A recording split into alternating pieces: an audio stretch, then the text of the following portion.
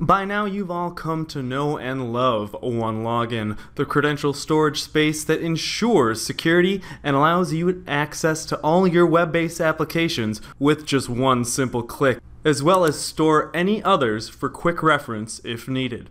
With the new fall season coming upon us, it was only fair that the increasingly popular OneLogin get a new fall look, and the new portal is exactly that.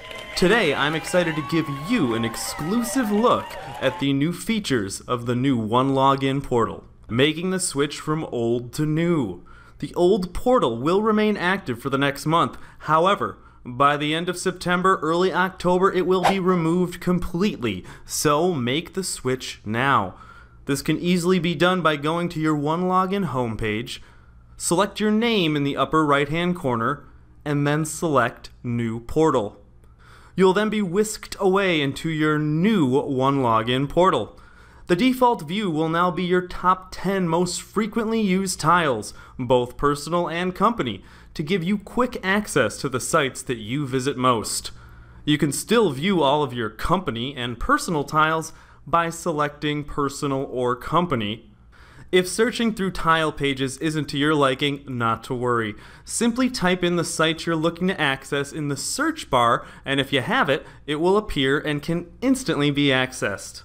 Tired of that old clicking the edit pencil icon, then clicking the tile, then entering new credentials, saving? Well, so are we. And that's why the new portal allows you to just hover your cursor over any tile and select Edit in order to change the credentials in that tile or to toggle visibility to view that stored password.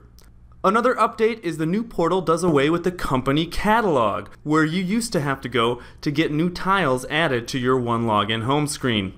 In the new portal, you can cut to the chase by clicking Browse App Store. Here you can view the top 10 most added OneLogin tiles and also type the app tile you're looking for, and with a simple click of the plus icon, have it immediately added to your OneLogin home screen. If the tile you're looking for isn't showing up, you can simply submit a request through ServiceNow to the OneLogin team requesting it. The support team will then investigate if it can be created. Or you can take matters into your own hands and select the plus new icon next to the don't see what you're looking for when performing a search. This will allow you to enter in the login URL, the username and password, select if it should be stored in personal or company, and even rename the tile.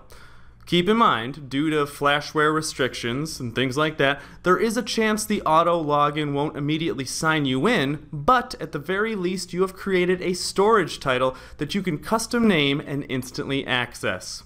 If for whatever reason you feel like going old school and want to access the old portal for the next month or so, you can always go to the upper right hand corner of the OneLogin homepage and select Old Portal from that dropdown. Finally, if you are signing into OneLogin off the network, you'll notice a minor cosmetic change when you sign into that home screen.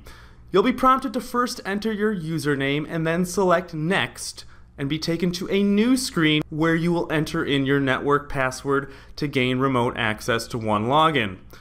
You'll still use the same credentials you did in the past, and this will still trigger the dual authentication process on your mobile device.